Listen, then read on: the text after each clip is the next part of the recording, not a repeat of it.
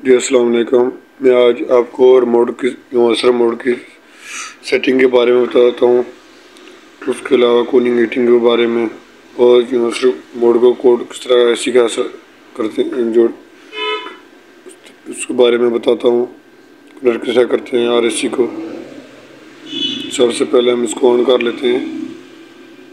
ये कूलिंग पर ऑन हो गया है।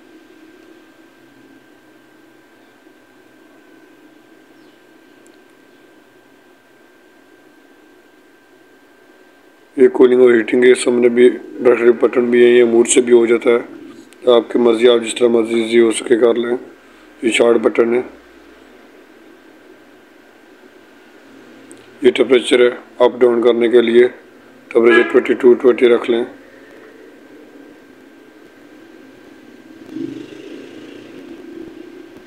ये स्विंग का बटन है। इसमें आप एक जगह स्विंग रोक सकते हैं? सर्च कर सकते हैं।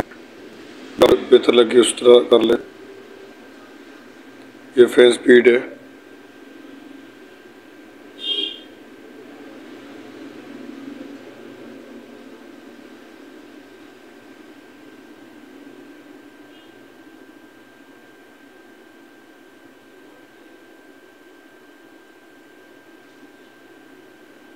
ये अब हीटिंग पर हो गया है। अगर हीटिंग पर इस्तेमाल करेंगे तो टेम्परेचर थर्टीन रखनी है। ट्वेंटी सिक्स भी रख रख सकते हैं। बाकी सेटिंग वही होती है। आपकी मर्ज़ी है, जिस तरह मर्ज़ी आप यूज़ करें। फ़ैन ऑटो पर इस्तेमाल करें तो बेहतर है।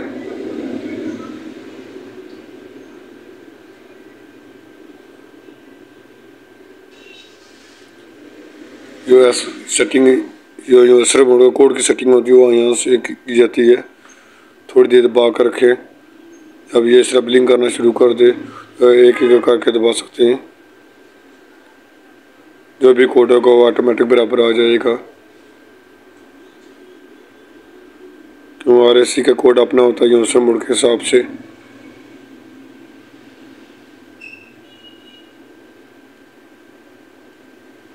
यहाँ से कोड सेफ़ हो जाता है। ब्लिंक करना रुकी है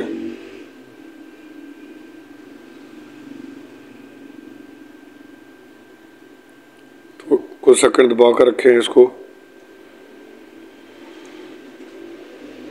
ब्लिंक करना शुरू कर दिया इसने। यहाँ से सेफ़ हो जाता है जो भी कोड हो। स्टेप बाई स्टेप आपने शुरू करना है।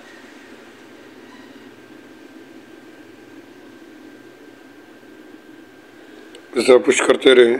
जब तक एसी की वजह की आवाज़ ना आए टनी की आवाज़ आएगी। अगर आपका कोड इसका पता है तो आप डायरेक्टली इससे आगे भी लेकर जा सकते हैं। अगर सौ पर दो सौ पर एक बार आपका सेट हुआ है आपको पता है क्या कोड है। इसे डायरेक्ट से भी आप बराबर कर सकते हैं इसका कोड। लाजमी नहीं आप नीचे एक एक करके आगे लेकर जाए। अगर आपको पता है तो इस तरह भी लेकर जा सकते हैं।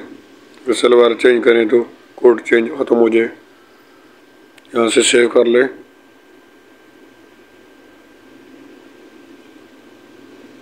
बहुत ईजी सेटिंग है। ओके अल्लाह हाफिज़।